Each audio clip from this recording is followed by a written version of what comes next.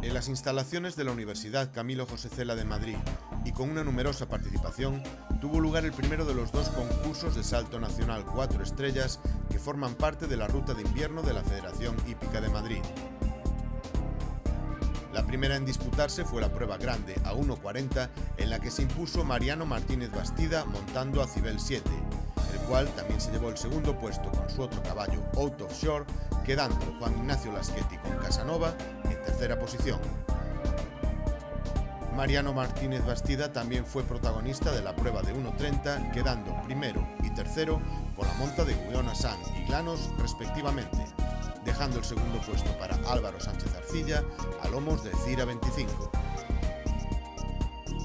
A continuación se disputó la prueba de 1.20, la cual lideró Álvaro Gil sobre Caregano, quedando segundo el binomio compuesto por María Vela y Picasso, seguidos por José María Blanco con Ipicam.com Plasando.